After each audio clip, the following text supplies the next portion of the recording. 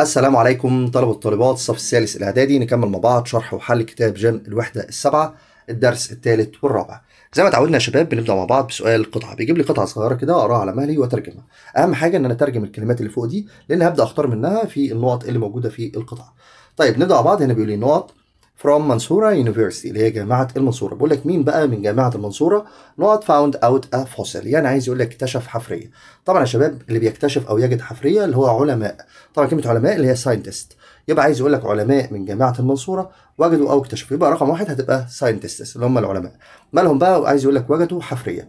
طبعا هظبط الزمن بتاعي هنا. العلماء دي أصلا جامعة فاستخدم كلمة have. يبقى هنا يا شباب هقول له have. Found out a fossil. عايز يقول لك يعني اكتشفوا حفرية لنوع جديد أو فصيلة جديدة من الديناصورات. طيب أنا عندي كلمة جديدة عليا في تالتة إعدادي لازم أحفظها جدا اللي هي كلمة فصائل. كلمة فصائل اللي هي كلمة species. يبقى عايز يقول لك هنا species of dinosaurs اللي هي اكتشفوا يعني حفرية لفصائل جديدة من الديناصورات. يبقى رقم ثلاثة هتبقى species اللي هي معناها فصائل. أهم حاجة وأنت بتحل السؤال ده إنك تاخد وقتك في قراية القطع. الحاجة التانية إنك تكون مترجم الكلمات كلها وكاتب كل كلمة كده ترجمتها عليها عشان تعرف تختار. طيب نرجع للقطعة بتاعتنا تاني. بيقول لي بعد كده ذا ديناصور اللي هو ديناصور was a plant eating animal. ويبدا يقول لي بعد كده it was about 10 meters in نقط and weighed. بيبدا يكمل بقى هنا بيقول لي الوزن بتاعه وبيقول لي الطول. طيب هنا يا شباب في الطول بستخدم كلمة عندي اللي هي كلمة length طيب نراجع مع بعض كده. أول واحدة عندي كلمة scientist اللي هي العلماء. رقم اثنين عندي كلمة have. رقم ثلاثة عندي اللي هي كلمة species. species يا شباب اللي هي الفصائل. بعد كده رقم أربعة اللي هي كلمة length السؤال اللي بعده هو سؤال الاختياري. خلي بالك هنا رقم واحد بيقول لي and what is the land that is below the area around it? خلي بالك التعريف ده كده موجود في الكتاب هو تعريف المنخفض زي منخفض الفيوم أو منخفض الخطارة أو كده. المنخفض عندي يا شباب اللي هو كلمة depression. يبقى عندي الاختيار رقم بي اللي هو كلمة depression يعني معناها منخفض. عندنا قطعه عن منخفض الفيوم. السؤال اللي بعده بيقول هنا if you not someone will you are nice to them. طبعا ده تعريف مهم برضه بيقول لك لو أنت عاملت شخص معين كويس يبقى أنت بتعامله بلطف اللي هي كلمة treat يعني يعامل. السؤال اللي بعده بيقول لي the antonym كلمة antonym اللي هي معناها مضاد أو عكس. بيقول لك مضاد أو عكس كلمة remote is إيه لازم اكون حافظ الكلمة دي. الكلمة دي معناها بعيد. طبعا كلمة بعيد دي عكسها قريب اللي هي كلمة near السؤال اللي بعده بيقول the synonym خلي بالك synonym دي اللي هي مرادف أو معنى يعني بيقول لك مرادف كلمة kind كلمة kind دي بتساوي كلمة إيه طبعا kind يا شباب اللي هي معناها طيب أو عطوف بتساوي كلمة friendly اللي هي برضو عطوف أو ودود. يبقى kind is friendly. المرادف بتاعها يعني. اللي بعد كده بيقول لي a or an نقط is a place where horses sleep. طبعا المكان اللي الحصان بينام فيه يا شباب اسمه stable يبقى هنا بيسألك عن ال stable اللي هو الستابلي يعني. السؤال اللي بعده the noun. Can be formed from the verb pollute اللي هو الفعل pollute. ده لما اضيف له suffix طبعا اضيف له إيه في الآخر كده يا شباب هيتحول معايا إلى pollution اللي هو التلوث اللي هي I O M يبقى ده يا شباب بيتحط في الآخر يخليه التلوث. السؤال اللي بعده we change the verb preserve. طبعا كلمة preserve لو حط لها دي في الآخر هتحول إلى صفة اللي هي يا شباب إن أنا أضيف لها دي فهتبقى كلمة preserved. السؤال اللي بعد كده بيقول لي and what is a group of animals مجموعة من الحيوانات plants أو النباتات or birds أو الطيور of the same kind? خلي بالك دي مهمة بقى لا نفس النوع. تبقى إيه يا شباب؟ تبقى فصيلة. اتفقنا كلمة فصائل اللي هي species. السؤال اللي بعد كده بيقول لي this area is wet. it's not إيه خلي بالك عايز عكسها. بيقول لك هذه المنطقة بتكون رطبة. يبقى هي مش إيه؟ أكيد هي مش جافة. كلمة جاف اللي هي dry السؤال اللي بعده a نقط is something that people travel بعد كده بيقول لك is pulled by a horse. إيه هو اللي بيتجر بالحصان وممكن الناس تسافر عبره أو من خلاله؟ طبعا يا شباب ده اسمه carriage اللي هي عربة يجرها الحصان. يبقى كلمة carriage. الصفحة اللي بعد كده نكمل مع بعض. برضو بتبدأ معايا بسؤال تكملة القطعة زي ما اتفقنا يا شباب أنا بقرأ القطعة دي على مهلي وأترجم الكلمات اللي فوق دي ومن خلال الترجمة دي ببدأ أختار وأحط في النقط اللي موجودة عندي. هنا بيقول لي The Great Knot of China is an ancient wonder. خلي بالك بيتكلم هنا عن سور الصين العظيم بيقول لك إن هو واحد من العجائب القديمة في الصين. طبعا سور أو حائط يا شباب اللي هي كلمة wall. يبقى نمرة واحد هحط فيها wall. بعد كده بيقول لي they نقط building it in 1878 خلي بالك برضو هنا بيتكلم بيقول لك هم انتهوا من بنائه في سنة 1878 طيب انتهى في الماضي اللي هي كلمة finished. كل عليا الفعل فيه ينتهي هضيف له اي دي عشان يتحول معايا للماضي. يبقى أختار الماضي يا شباب لأن هنا الحاجة دي خلصت. طيب أهم حاجة وأنت بتحل السؤال ده خلي بالك إنك تترجم الكلمات اللي فوق دي على قد ما تقدر. ولو في كلمة وأنت بتحل في القطعة وقفت معاك حاول تعديها أو تخمنها ما تقفش عليها. لو وقفت عليها هتغلط. حاول تخمن أقرب معنى ليها وتكمل. نرجع بقى للقطعة بتاعتنا تاني. هنا بيقول لي they built it to not the north of the empire of China. خلي بالك هنا بيقول لك السبب بقى إن هم بنوا السور ده. بيقول لك هم بنوه ليه؟ طبعا ليحمي الصين. طبعا كلمة يحمي اللي هي protect. يبقى الاختيار رقم ثلاثة هكتب فيه كلمة إيه يا شباب؟ كلمة protect. يبقى they built it to protect. بعد كده شباب بيبدأ يكلمني بقى عن آه، مقاسات السور الطول بتاعه والعرض فعندي كلمة لونج فوق دي بتستخدم مع الطول الأفقي. يعني لو طريق أو سور أما كلمة tall بتستخدم مع الطول الرأسي. فهنا رقم أربعة هتبقى كلمة long أراجع معاك عليهم تاني. أول واحدة عندي هتبقى كلمة wall. number 2 عندي هتبقى finished. number 3 هتبقى protect. بعد كده آخر حاجة رقم أربعة هتبقى long. السؤال اللي بعده نبدأ نكمل مع بعض. سؤال اختياري. هنا بيقول لي what is the remains of animals or plants that lived in the past. خلي بالك طبعا البقايا للحيوانات والنباتات اللي كانت بتعيش في الماضي دي يا شباب اسمها الحفرية ده تعريف الحفرية. حفرية اللي هي كلمة فوسل السؤال اللي بعده بيقول هنا to get the opposite اللي هو عشان تحصل على عكس of happy كلمة happy اللي هي سعيد we add the prefix. prefix دي بنحطها في بادئة الكلمة. بادئة كده بتحول لي الكلمة العكس اللي هي اليو ان happy عكسها unhappy غير سعيد. بعد كده بيقول لي the word species is similar in meaning to the word كلمة species اللي هي فصائل. الكلمة دي متشابهة مع kinds اللي هي أنواع. السؤال اللي بعده بيقول لي we can change the verb cover to give the meaning as find out. خلي بالك cover ده ممكن يديني نفس معنى find out اللي هو يجد أو يكتشف. كل اللي علينا ان إحنا هنضيف له prefix اللي هي شباب نضيف له بادئة للكلمة اللي هي دي اي اس عشان يبقى discover بمعنى يكتشف برضه. السؤال اللي بعده football is a popular sport. طبعا كرة القدم رياضة محبوبة وشائعة هنا the antonym of popular عكس كلمة popular اللي هي شائع طبعا عكسها يا شباب كلمة غير شائع كلمة غير شائع عندي اللي هي uncommon. كلمة common أصلا معناها شائع حط لها يو ان في الأول تبقى غير شائع دي عكس popular. السؤال اللي بعده بيقول هنا I read an amazing story amazing story بيقول لي the antonym of amazing. طيب عكس بقى مضاد كلمة amazing. amazing اللي هي مذهل أو مدهش حاجة كويسة. طبعا عكسها حاجة فظيعة أو سيئة اللي هي كلمة terrible. يبقى يا شباب عكس amazing terrible. السؤال اللي بعده بيقول لي I want to live on a remote island. I'd like to live not from people. خلي بالك عايز يعيش بعيد في جزيرة. يبقى هو كده عايز يعيش بعيد من الناس. بعيد اللي هي far from. نفس المعنى. السؤال اللي بعده بيقول لي he chose to join the company as a market research خلي بالك كلمة researcher دي أصلا هي عبارة عن الشخص اللي بيبحث. يبحث اسمها do research. طيب هنا بيقول عندي كلمة does. فأقول له does research. السؤال اللي بعده بيقول لي هنا which of the following prefixes gives the opposite. خلي بالك إيه هي بقى البادئة اللي بتديني عكس الكلمة. عندي بادئة بتديني عكس الكلمة يا شباب اللي هي عبارة عن I N ممكن أعكس بيها أي كلمة وال U N. الاثنين مع بعض. يبقى الاختيار رقم B والاختيار رقم C يبقى هنا يا شباب هختار رقم D اللي هو ماسك لي الاختيارين مع بعض اللي هو B or C السؤال اللي بعد كده بيقول لي the suffix إيه الخاتمة اللي بحطها للكلمة؟ و change بتحول الصفة into an adverb. تحول الصفة لحال. طبعا اللي بيحول الصفة لحال إن أنا أحط في آخر الكلمة L Y. يبقى كده يا شباب كلمة L Y الصفحة اللي بعد كده نكمل مع بعض. برضو بتبدأ معايا بسؤال تكملة القطعة. خلي بالك بيجيب لك قطعة صغيرة كده فيها فراغات بتبدأ تكملها من الكلمات اللي موجودة فوق دي. نبدأ مع بعض. هنا بيقول لي white rhinos اللي هو حيوان ده حيوان شبه الفيلة كده. بيقول لي are the second largest land animals. خلي بالك ده تاني أكبر حيوان بعد الفيلة. بيقول لي they نقط in two different areas in Africa. خلي بالك برضو عايز يقول لك يعني إن الحيوانات دي عايز يقول لك اكتشفت أو وجدت في منطقتين مختلفتين في أفريقيا. طبعا يا شباب عايز هنا مبني للمجهول. يبقى are والفعل فيه التصريف الثالث اللي هو found هنا أقول لك are found يعني وجدوا في أفريقيا. بعد كده يا شباب بيقول لي in 1895 about 100 animals حوالي 100 حيوان. Were نقط in South Africa. خلي بالك بقى حوالي 100 حيوان برضو مبني للمجهول were يجي وراه فعل فيه التصريف الثالث اللي ينفع عندي هنا اللي هي كلمة discovered اللي هي حوالي 100 حيوان اكتشفوا نفس المعنى طبعا. يبقى عايز مبني للمجهول يا شباب يبقى were والتصريف الثالث اللي هو discovered في جنوب أفريقيا. بعد كده يا شباب بيقول لي حوالي عايز يقول لك حوالي أو تقريبا 18000 animals يعني هنا عايز يقول تقريبا أو حوالي 18000 حيوان. يبقى شباب حوالي اللي هي كلمة around يبقى هطلع معايا كده اللي فوق وأختار كلمة around خلي بالك بقى وأنت بتحل لازم تكون مترجم الكلمات دي كلها علشان تبدأ تختارها.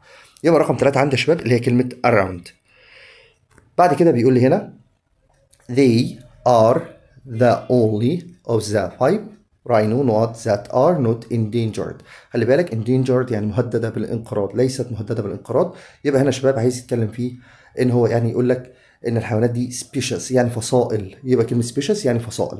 عندي خمس فصائل بس هم اللي مش مهددين بالانقراض. يبقى أول واحدة عندي اللي هي are found. number 2 عندي discovered. number 3 around. نمبر 4 عندي اللي هي كلمة species يعني فصائل. بعد كده يا شباب ببدأ أحل السؤال اللي بعده هو سؤال correct. خلي بالك correct عندي بيتكلم عن المبني للمجهول في الزمن الماضي البسيط. بيقول لي هنا we don't know how the stones for the pyramids خلي بالك بيتكلم عن أحجار الأهرامات. وبيقول لي was carried. كل اللي عليا هنا جايب لي الفعل في التصريف الثالث بعد was لا أنا عندي pyramids وعندي stones دي أصلا جمع. هنا المفعول به أو نائب الفعل اللي هو stones. يبقى أستخدم where مش was أركز كده وأنا بحل. الجملة دي أصلا مبني للمجهول. عندي فعل في التصريف الثالث يجي قبلها was أو where طيب الفعل جمع يبقى أستخدم where بعد كده بقول لي the statue of the sphinx اللي هو تمثال أبو الهول. برضه نفس الكلام. Was making تنفع؟ لا. Was where بيجي وراهم فعل في الباست participle past participle اللي هو التصريف الثالث فأقول له هنا التصريف الثالث من make اللي هو made. فهنا أقول له was made. السؤال اللي بعد كده بيقول لي the first Pantheon in Rome was not. نفس الكلام يا شباب. was were بيجي وراهم الفعل في التصريف الثالث ما ينفعش ابدا الفعل يجي مضاف له ing طيب التصريف الثالث من build هي هي بس بخلي ال d دي تبقى t فتبقى اسمها built. يبقى was built. اللي هي معناها بني السؤال اللي بعده the wild animals اللي هي معناها الحيوانات البرية not killed to من yesterday. خلي بالك الجملة دي أصلا جملة معلوم في زمن الماضي البسيط. لأن بقول الحيوانات دي هي اللي قتلت راجلين امبارح. يبقى دي جملة مبنية للمعلوم. معلوم يبقى الفعل في الماضي عادي. ماضي من kill ضيف له اي دي ده فعل منتظم. يبقى اختار killed. السؤال اللي بعد كده بيقول لي their beds not was بيقول لي not made by them. خلي بالك دي جملة مبنية للمجهول. بس كل اللي عليا إن أنا عندي دي الجمع يبقى هنا ما ينفعش أستخدم was. أنا عندي were not. مبني المجهول منفي. أقول were not لأن الفعل عندي جمع. السؤال اللي بعده. The mistakes were corrected not with. لا ما ينفعش with. أنا عندي المبني المجهول بستخدم حاجة اسمها by بواسطة المدرس. يعني الأخطاء صححت بواسطة المدرس. يبقى by the teacher. اللي بعد كده بيقول لي who was thick book نقط وجايب لي writing by. برضو ده سؤال في المبني المجهول. عندي was يبقى هنا شباب عايز الفعل في التصريف الثالث. التصريف الثالث من write اللي هو يكتب طبعا اسمه written. يبقى هنا على مهلي كده وابدأ أختار تصريفات الأفعال من الورقة اللي أنا حاطها لك في وصف الفيديو. السؤال اللي بعده بيقول لي when was this museum طبعا برضو نفس الكلام مبني للمجهول. ما ينفعش ان أنا استخدم built. عايز التصريف الثالث زي ما اتفقنا اسمه built. السؤال اللي بعد كده بيقول لي these trees خلي بالك دي جمع plant not by clever school boys. خلي بالك بقى ده مبني للمجهول. والفعل عندي أو نائب الفاعل جمع. يبقى هنا كلمة plant عايز قبلها where وأحط الفعل في التصريف الثالث اللي هو planted. ده فعل منتظم بس هحط له ed في الآخر. السؤال اللي بعده هنا بيقول لي the kids اللي هم الأطفال وبيقول لي not وجايب لي كلمة drive to school by their uncle yesterday. خلي بالك برضو الجملة دي على بعضها كده. عايز يقول لي هنا إن الأطفال يبقى دي الجملة دي يا شباب هقول له were were لأن طبعا مش الأطفال اللي هيقودوا. خلي بالك تعرف منين بقى الجملة مبنية للمجهول لو الكلمة اللي في الأول دي اللي هي the kids تقدر تعمل اللي بعدها؟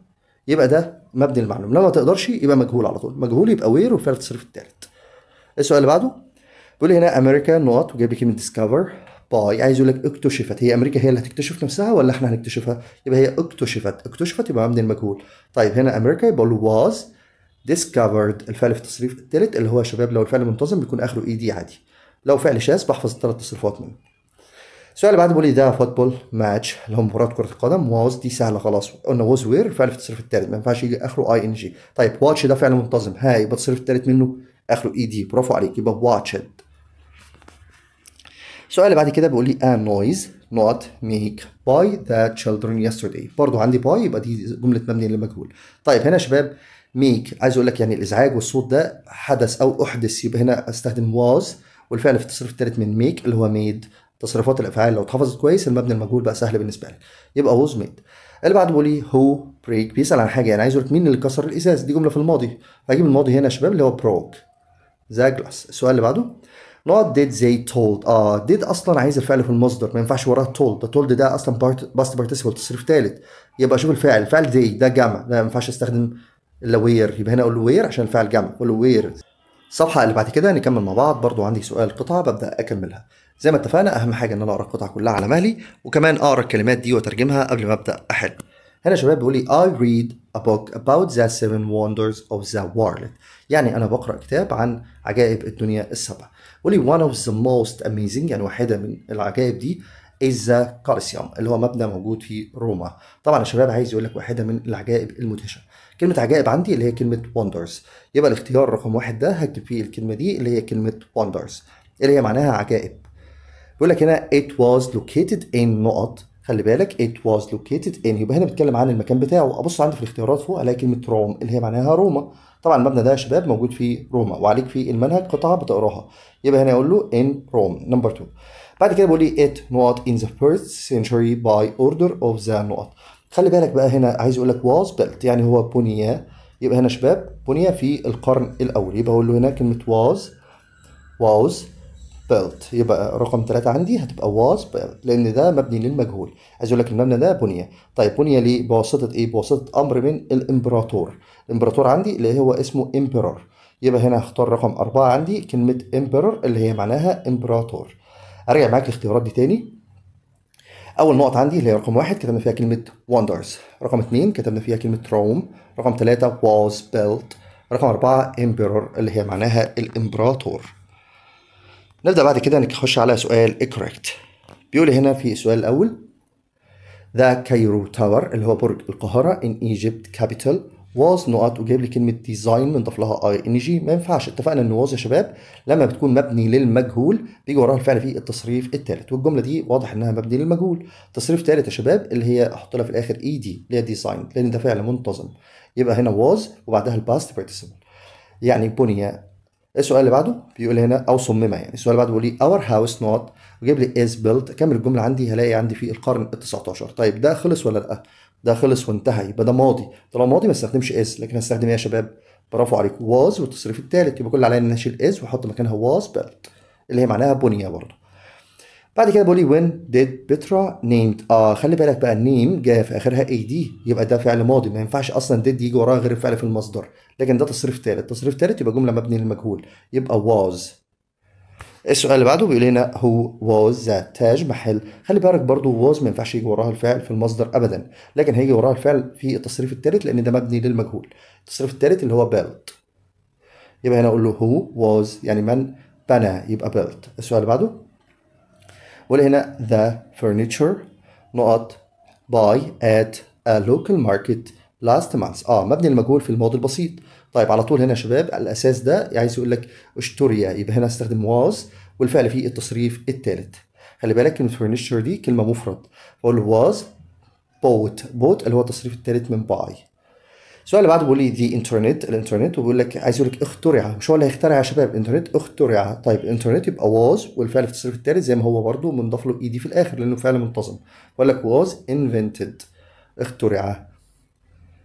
مبني المجهول في زمن الماضي البسيط. السؤال اللي بعد كده بيقول لي هنا I not جايب لي كلمة pass the exam last year. خلي بالك I الفعل موجود عندي. يبقى دي جملة معلوم مش مبني المجهول. كل اللي عليا إن أنا أحول الجملة للماضي عادي لأن عندي last year. الفعل في التصريف في الماضي اللي هو التصريف الثاني اللي هي past. يبقى I passed. اللي بعده بيقول لي the great pyramid. طبعا ده الهرم الأكبر. عايز يقول لك طبعا بني بواسطه الملك خوفو. ده مبني للمجهول. الهرم ده يا شباب مش هو هيبني نفسه. لا هو هيتبني. يبقى أقول له was لأن الهرم ده مفرد. واقول له التصريف الثالث من build اللي هو build. يبقى was built بعد كده بقول لي did anyone وجيب لي كلمة سين لا ده طبعا سهله خالص. did بيجي وراها الفعل فين؟ في المصدر. دي ثوابت ما بتتغيرش. يبقى did المصدر اللي هو سي يبقى did anyone see يرى يعني. السؤال اللي بعده بيقول لي most of old buildings خلي بالك الفعل عندي جمع. وجايب لي كلمة destroy in the last word. Word برضه في الماضي يا شباب. فالماضي يبقى عايز هنا مبني المجهول في الماضي البسيط مبني المجهول في الماضي ابص على الفعل الفعل عندي جمع. يبقى أستخدم where where طيب destroy. أجيب منها التصريف الثالث اللي هي بإضافة اي دي في الآخر. كل عليا إن أنا هضيف للفعل اي دي عشان أحقق المبني المجهول في الماضي البسيط. لقيت الفعل جمع. استخدمت where وأضيف للفعل في الآخر يا شباب اي دي اللي هي destroy. السؤال اللي بعد كده بيقول لي some paintings. خلي بالك الفعل جمع. بعض اللوحات. عايز يقول لك سرقت من المتحف last night. الليلة اللي فاتت. ده ماضي وبس ببني المجهول في الماضي البسيط. يبقى هستخدم were لأن الفعل جمع وهي لي التصريف الثالث اللي هو stolen يعني. سرقت يعني. السؤال اللي بعده بيقول لي هنا نقط. Your teacher teach. Teach جاي في المصدر و your teacher. طيب teach جاي في المصدر. اولا your teacher ما تنفعش معاه were لأن were جمع و teach جاي في المصدر فما ينفعش أصلا were. كان عايز التصريف الثالث يبقى كل علينا هنستخدم إيه يا شباب في الماضي؟ did. أسأل ب did أقول له did your teacher teach you هل المدرس بتاعك علمك؟ السؤال اللي بعده بيقول لي the class الفصل was نقط طبعا اتفقنا ان was في ال passive المبني المجهول بيجي وراها الفعل في التصريف الثالث. clean ده فعل منتظم يبقى أحط له ed في الآخر. السؤال اللي بعده بيقول لي هنا the bridge اللي هو الكوبري. behind the school نقط بقول لي طبعا تاريخ في الماضي. طالما تاريخ في الماضي يا شباب يبقى هنا ده passive أو مبني المجهول في الماضي البسيط. مبني المجهول في الماضي البسيط يبقى was built. خلي بالك built اللي هي آخرها t عشان يبقى طبعا تصريف ثالث يعني بني was built. السؤال اللي بعده؟ Something نقط وجايب لي كلمة waking me up in the middle of the night. خلي بالك بقى بقول لك شخص ما ايقظني يبقى هنا عايز ماضي بس. ماضي اللي هو كلمة woke. الصفحة اللي بعد كده نكمل مع بعض. بيكون عندي exercise على الدرس الثالث والرابع. بيبدأ معايا بسؤال تكملة القطعة. زي ما اتفقنا يا شباب قطعة صغيرة كده ببدأ أكملها من خلال الكلمات اللي موجودة عندي دي. هنا القطعة بتاعتنا Black Beauty is a not by Sewell خلي بالك Black Beauty اللي هو الحصان الأسود أو الجمال الأسود دي كانت قصة موجودة في المنهج القديم. دلوقتي ما بقتش موجودة عندنا في المنهج الجديد. طيب Black Beauty is a story يعني هي قصة كتبت بواسطة الكاتبة آنا سويل كانت قصة سهلة. الناس اللي بيسألوني في التعليقات في قصة السنة دي لا مفيش قصة. أنت عندك قطع صغيرة كده موجودة في كل وحده بتقراها كويس جدا. It tells us about a horse. القصة دي بتخبرنا عن حصان في القرن ال 19 It was a beautiful horse. طبعا كان حصان جميل. The horse الحصان ده was not to a lot of owners. عايز أقول لك الحصان ده تم بيعه لملاك كثيرون. مبني للمجهول يا شباب. عايز أقول لك هنا was والفعل في التصريف الثالث اللي هو sold. خلي بالك يبيع سيل التصريف الثالث منها sold. عايز was sold. One day في يوم من الأيام he met his old friend Ginger. طبعا كان في برضه حصانة في القصة دي اسمها uh, and found that she looked. هو وجدها تبدو إيه and sad وحزينة. طبعا هي كانت سيئة وحزينة. كلمة سيء أو فظيع اللي هي كلمة terrible. طبعا ده كان سببه إيه يا شباب؟ Because she worked لأنها كانت بتعمل hard بتعمل بجد and the owners والملاك بتوعها عايز أقول لك عاملوها معاملة سيئة. طبعا عاملة أو يعامل اللي هي كلمة treated. يبقى treated badly. كانوا بيعاملوها طبعا معاملة سيئة. نبدأ مع بعض نراجع كده. أول حاجة عندي هي كلمة ستوري يعني قصة. بعد كده sold was sold. بعد كده terrible واختيار الرابع عندي يا شباب اللي هو treated.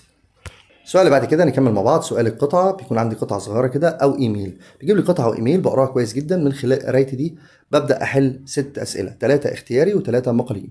هنا هسيبك توقف الفيديو دقيقة وتقرأ القطعة براحتك. لو في حاجة وقفت معاك اكتبها لي في التعليقات. السؤال الأول عندي بيقول لي this passage is about إيه القطعة دي بتتكلم عن إيه؟ طبعا يا شباب القطعه دي بتتكلم عن Egypt wonderful places يعني أماكن رائعة موجودة في مصر. بعد كده بيقول لي the weather is not in أسوان الطقس بيكون إيه؟ في أسوان. من خلال القطعة أنت ما بتحلش من دماغك بترجع للقطعة تاني هتلاقي إن الطقس موجود إن هو sunny يعني مشمس. السؤال اللي بعده بيقول لي in الأقصر في الأقصر روبرت اللي هو موجود في القطعة can visit a lot يقدر يزور إيه في الأقصر؟ طبعا الأقصر يا شباب ما بزورش فيها الأهرامات دي موجودة في الجيزة وال beaches الشواطئ لا طبعا. من خلال القطعة برضو هتلاقيها temples اللي هو المعابد. الصفحة اللي بعد كده نكمل مع بعض سؤال القطعة. السؤال الأول عندي هنا بيقول What can Robert do in Hurghada يعني إيه اللي روبرت اللي هو في القطعة يقدر يعمله في الغردقة؟ خلي بالك السؤال ده بنحله من خلال القطعة. يعني هترجع تاني للقطعة وتقرأ على مهلك هتلاقي إن هو he can go snorkeling. يعني يقدر يمارس رياضة السنوركلينج and scuba diving والغطس. وكمان يا شباب من خلال القطعة تقدر تقول إنه كمان يقدر يعمل go to the bazaar. إن هو يزور البازار. طيب إحنا هنا عاملين إجابات مختصرة جدا لأن زي ما أنت شايف المسافة مش مكفية والمكان مش مكفي فأنا هسيبك بقى تقرا القطعة على مهلك وتكمل الإجابة براحتك. تمام؟ هو في أربع حاجات يقدر يعملهم أو خمس حاجات إحنا كتبنا ثلاثة بس. بعد كده بيقول لي what is the best place to buy souvenirs? خلي بالك بقى ال souvenir دي اللي هي الهدايا التذكارية. إيه هو أفضل مكان تقدر تشتري منه هدايا تذكارية؟ من القطعة اللي هو البازار. من فهمك للقطعة ده بازار اللي هو يا شباب البازار. بعد كده السؤال آه الثالث يبقى الإجابة بازار دي هي اللي بعد كده. السؤال الاخير بيقول do you think that Robert will enjoy his visit to Egypt? بيسألك أنت بقى أنت تعتقد إن هو يعني استمتع بزيارته لمصر؟